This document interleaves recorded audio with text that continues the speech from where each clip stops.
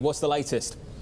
Good morning, Jonathan. The latest is that these trade negotiations appear to be hitting a point of pause. That said, we should note that there uh, seemingly is an agreement to cut the U.S. trade gap with China, as well as for China to buy more U.S. goods and services, and the U.S. to increase farm and energy exports with more trade in manufactured goods. But this is very soft on details, with the dollar amount reduced from the trade gap and the end of Made in China 2025 plan coming as the president has seemingly lifted trade restrictions on Chinese telecommunications firm ZTE, despite receiving pushback on Capitol Hill, not only for Democrats for that decision, but also from Republicans. I should also note that the president is receiving some pushback from red state agricultural Republicans as a result of his agricultural push. Uh, and we've seen the response from the Chinese on sorghum and soybeans.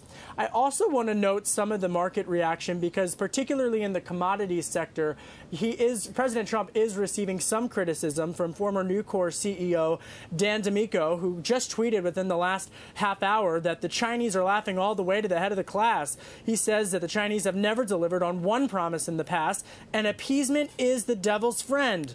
He goes on to write that energy instead of value added for manu manufacturing. Uh, manufacturing products. And Senator Marco Rubio, one of the Republicans also at the center of this debate, tweeting out that China is winning in the negotiations. Their concessions are things they plan to do anyways. Hashtag losing. Now, Senator Rubio has also, just within the last week, Jonathan, sent a letter to President Trump urging him to also take a look at intellectual property. That's something that a lot of Republicans and Democrats on Capitol Hill are concerned about through the lens not only of the U.S. China bilateral talks, but also as we near the end of NAFTA negotiations as well. Kevin, within the administration, and just quickly, um, Greg Valliere of Horizon Investments in his morning to note this morning, writing that you're probably going to have a very unhappy Peter Navarro and a very unhappy Mr. Lighthizer as well. What could the consequences be of that after this weekend?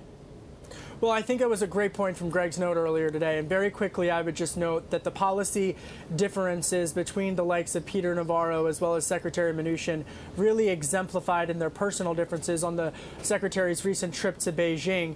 The President, that said, does like to have a diversity of ideological thought within his economic worldview. And Mr. Navarro has ascended following the ousting of Steve Bannon.